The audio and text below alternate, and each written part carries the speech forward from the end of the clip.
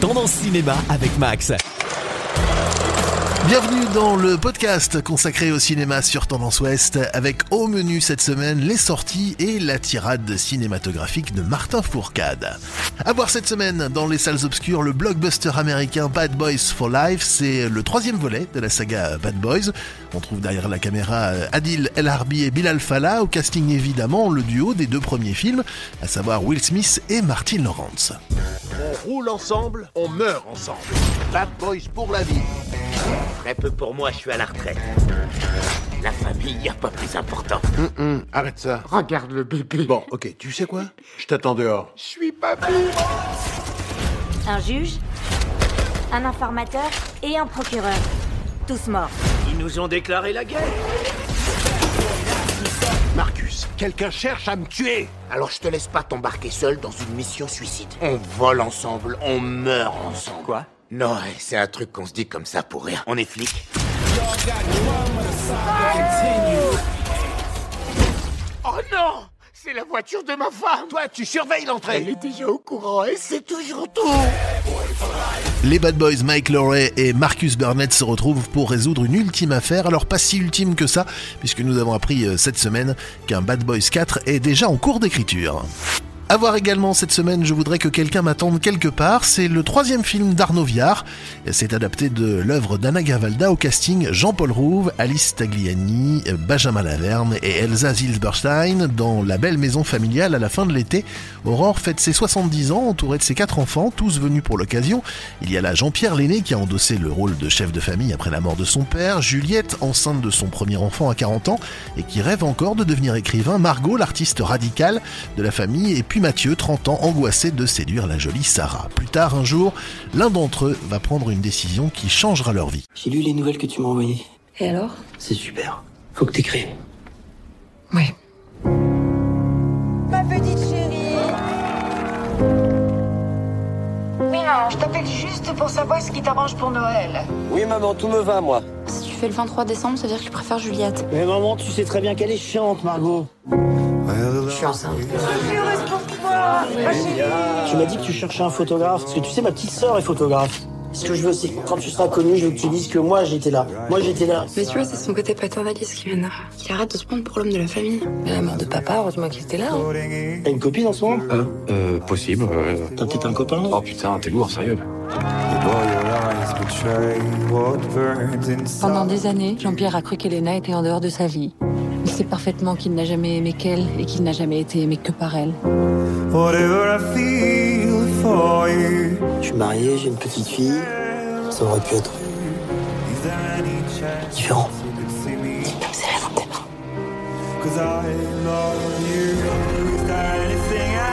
Quand il pensait à Elena, il faisait semblant d'en sourire ou d'y comprendre quelque chose, alors qu'il n'avait jamais rien compris. Mais que sait-on de la vie intérieure de quelqu'un? Peut-être que pour connaître quelqu'un, il faut d'abord l'aimer, avec ses désirs, sa mélancolie. Tu te souviens quand on était petits, tu m'avais dit que tu serais toujours là pour moi. Alors c'est peut-être ça que j'essaie de réparer en écrivant. Et je sais que rien ne pourra m'arrêter. Troisième film à voir cette semaine, et pas des moindres, le film Scandale, au casting 5 étoiles avec Charlize Theron, Margot Robbie, Nicole Kidman. C'est un film inspiré de faits réels sur un scandale de harcèlement sexuel au sein de la chaîne Fox News qui nous plonge dans les coulisses de cette chaîne de télévision aussi puissante que controversée. Des premières étincelles à l'explosion médiatique découvrez comment des femmes journalistes ont réussi à briser la loi du silence pour dénoncer l'inacceptable. Les femmes sont partout. Elles jouent même au tennis et au golf. Le comportement hors caméra était bien pire. Vous croyez que d'autres femmes vous suivront? Peut-être avez-vous entendu parler d'un différent m'opposant au candidat Donald Trump. Il y avait du sang qui sortait de ses yeux, du sang qui sortait d'elle, partout. Oh putain. Est-ce qu'il est en train de dire que j'étais énervée à cause de mes règles? Je veux vous convaincre que je suis faite pour être à l'antenne, monsieur Hayes. Je dois être sûr que vous êtes loyal. J'ai besoin que vous trouviez un moyen de me le prouver. Il faut que quelqu'un parle. Il faut que quelqu'un se révolte. La présentatrice vedette de Fox News a lâché une bombe aujourd'hui. Elle va détruire ma chaîne. Tout le monde met le t-shirt pour soutenir Roger. Enfile-le. Vas-y, toi aussi. C'est la fin d'une époque. Je comprends bien que je dois rester en dehors de ça. Hein. Et toi, t'as compris que le pays tout entier ne parle que de tes règles? Tiens, monsieur Prête à entrer en guerre? Oh oui. Il est réalisé par Jay Roach, à qui l'on doit notamment dans un registre beaucoup plus comique la saga Mon beau-père et moi avec Ben Stiller, avec 11 nominations dans différents festivals. Ce film est à voir absolument.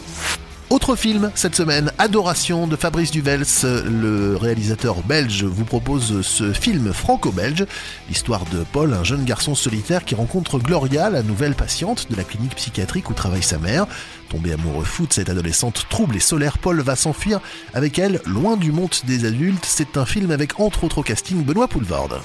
Enfin pour rire, cette semaine, la drôle d'interview de Martin Fourcade après avoir remporté le biathlon en relais euh, samedi dernier. Martin Fourcade s'est lancé dans une tirade bien connue des cinéphiles devant ses coéquipiers Hilar au micro euh, du journal L'équipe. Le quintuple champion olympique a repris la célèbre réplique d'Otis, souvenez-vous, le personnage d'Edouard Baird dans le film Astérix et Obélix Mission Cléopâtre pour répondre à la question lancée par son camarade Simon Destieux.